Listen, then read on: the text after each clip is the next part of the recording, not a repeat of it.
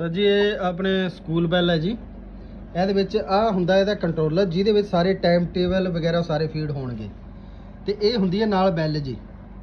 ਤੇ ਬੈਲ ਦੀ ਜਿ- ਜਿਹੜੀ ਤਾਰ ਹੈ, ਇਹਦੇ ਵਿੱਚ ਲੱਗਣੀ ਹੈ। ਤੇ ਆ ਹੁੰਦੀ ਹੈ ਮੇਨ ਤਾਰ, ਜਿਹੜੀ ਕਿ ਤੁਸੀਂ ਮੇਨ ਦੇ ਵਿੱਚ ਲਗਾਣੀ ਹੈ। ਮੇਨ ਏਸੀ ਦੇ ਵਿੱਚ ਆ ਤਾਰ ਲੱਗਣੀ ਹੈ ਜੀ ਇੱਥੋਂ।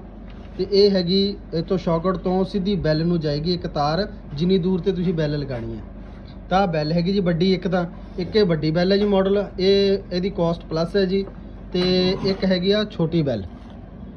ਇੱਕ ਆ ਹੁੰਦੀ ਹੈ ਬੈਲ 6 ਇੰਚੀ, ਆ ਹੁੰਦੀ ਹੈ 9 ਇੰਚੀ ਬੈਲ ਜੀ। ਇਹਨਾਂ ਜੋ ਬੈਲ ਹੈ, ਅਸੀਂ ਇੱਕ ਹੀ ਨਾਲ ਦੇਣੀ ਹੁੰਦੀ ਹੈ ਜੀ। ਜੇਕਰ ਵੱਡੀ ਬੈਲ ਲੈਂਦੇ ਹੋ ਤਾਂ ਇਹਦਾ ਚਾਰਜ ਪਲੱਸ ਹੁੰਦਾ ਜੀ। ਠੀਕ ਹੈ ਜੀ? ਆ ਕੰਟਰੋਲਰ ਹੈ।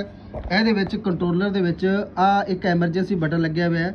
ਜਿਵੇਂ ਮੰਨ ਕੇ ਚਲੋ ਤੁਸੀਂ ਬੈਲ ਵਗੈਰਾ ਵਜਾਣੀ ਹੈ ਐਮਰਜੈਂਸੀ ਦੇ ਵਿੱਚ ਮੰਨ ਲਓ ਕੋਈ ਜਾਂ ਬੱਚੇ ਨੂੰ ਇਕੱਠੇ ਕਰਨਾ ਹੈ ਤਾਂ ਤੁਸੀਂ ਇਹ ਟਾਈਮ ਟੇਬਲ ਨੂੰ ਛੇੜਨ ਦੀ ਲੋੜ ਹੈ ਨਹੀਂ ਜੀ।